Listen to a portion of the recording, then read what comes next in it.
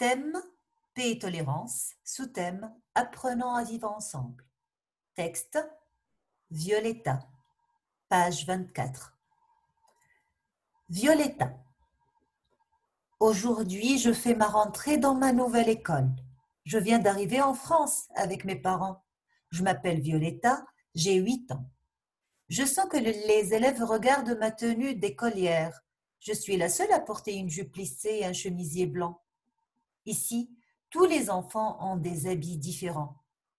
Monsieur Martin, mon nouveau maître, me conduit à une place libre à côté d'Adrien, un garçon qui a le teint très clair.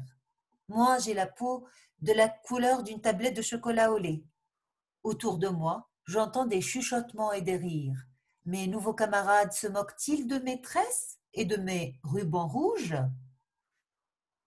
À la récréation, je reste avec Adrien qui me demande où j'ai appris si bien sa langue. Je lui explique que maman était professeure de français à Cuba. C'est elle qui m'a appris le français.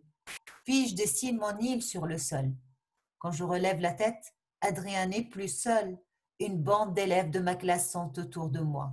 L'un d'eux me dit Et si tu nous parlais un peu de ton pays? D'après Ashmi Aley, Anne-Isabelle Le Touzet.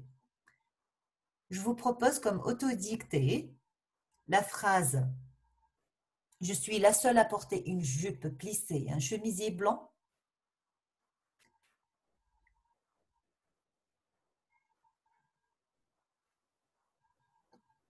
Et une autre phrase, autour de moi, j'entends des chuchotements et des rires. Bon apprentissage et à bientôt.